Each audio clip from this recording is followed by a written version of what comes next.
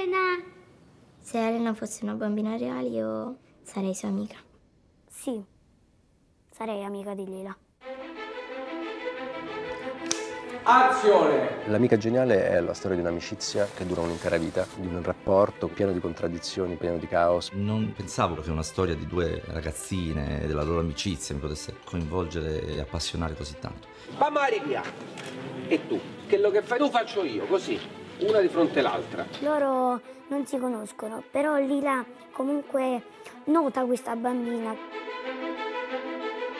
Il casting è durato 6-7 mesi, abbiamo cercato persone in ogni parte di Napoli. Mio fratello era stato preso per fare questo provino e io e mia sorella l'abbiamo accompagnato e hanno provato a fare il provino noi. Azione! Che fai?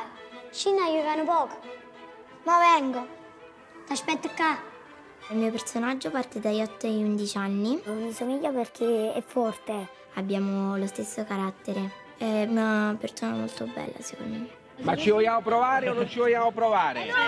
Savere ci ha aiutato sul set spiegandoci le emozioni, le parole, come le dovevamo dire, in che posizione dovevamo stare. È un crescendo interiore, cioè è impressione di dispiacere per lei. È sempre spiritoso, allegro. Oh ragazze, sbaglia una. Mamma mia, sbaglia una! Ti fa sentire a tuo agio. Lavorare con Saverio è bellissimo.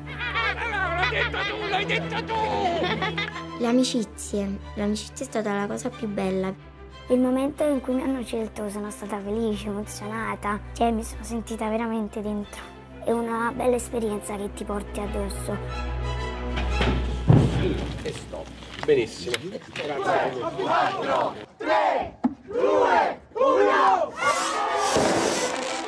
Il progetto Amica Geniale nasce nel 2013. Che racconta la storia di un rapporto pieno di odio, invidia, bugie. La cosa perfetta sarebbe arrivare al carrello, che siamo su Elena, rosso. Elena ci porta da lì.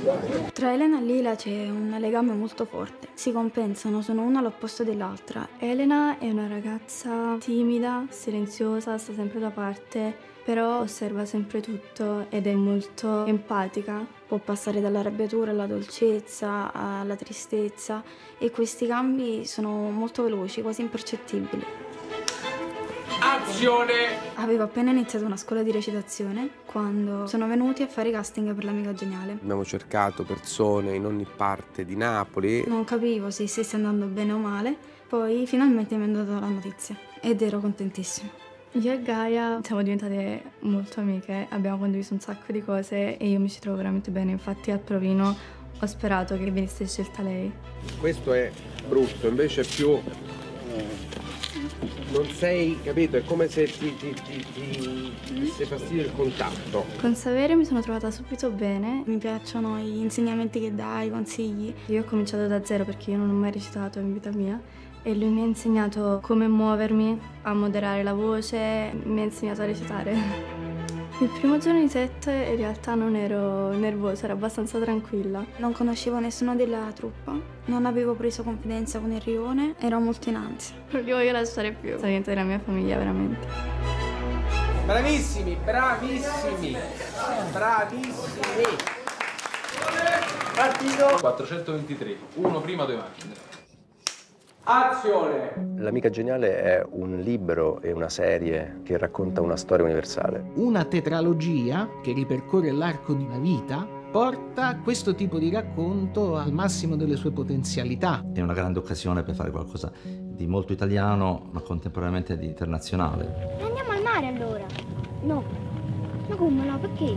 Lila e Lennon sono diventate due figure quasi mitiche. Di fronte al momento cruciale delle scelte, rappresentano le due facce della vicenda umana, chi rischia e chi si tira indietro. Luci, facciamoci di, di questa scena qua il punto di vista di Lina. Ho fatto una serie di provini col becca. Di tutte queste 8.000 persone che abbiamo visto, soltanto 4 erano giuste per il nostro scopo. Io ho preso quel volantino e ho chiesto a mia madre se potevo fare il casting. Dopo qualche settimana mi hanno richiamato dicendomi che dovevo fare un altro provino ed ho scoperto che era per il ruolo di Lila. La difficoltà è come mantenere un'autenticità in un film ambientato in un'altra epoca. Prima di tutto ci ha fatto conoscere, ci ha fatto togliere la timidezza. Quindi abbiamo preso la sceneggiatura e abbiamo vissuto queste situazioni come se fossero la realtà. Certo. Azione! Questo avere ci ha aiutato sul set spiegandoci le emozioni, le parole, come le dovevamo dire. Mi piacciono gli insegnamenti che dà, i consigli. Io ho cominciato da zero perché io non ho mai recitato in vita mia e lui mi ha insegnato come muovermi, a moderare la voce, mi ha insegnato a recitare. È un regista molto istintivo, cioè che segue molto l'emozione del momento. È sempre spiritoso, allegro. Ti fa sentire a tuo agio. Lavorare con Saverio è bellissimo.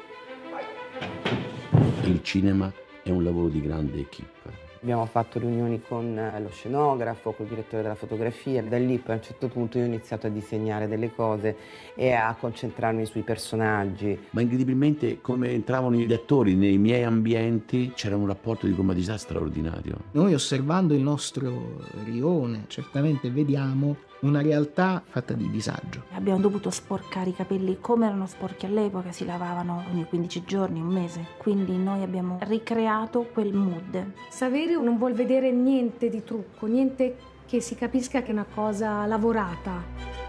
La ricerca è partita soprattutto sul lato visivo, visionario. La cosa fondamentale è pensare a come ricostruire questo grande spazio. E noi abbiamo rifatto una cinecittà dal nulla. Era la prima volta che visitavo un set cinematografico. È diventata casa nostra, insomma, sarà un peccato doverlo abbandonare. Conosci nuova gente in questi ambienti, quindi è una cosa bella. Sono diventata la mia famiglia veramente.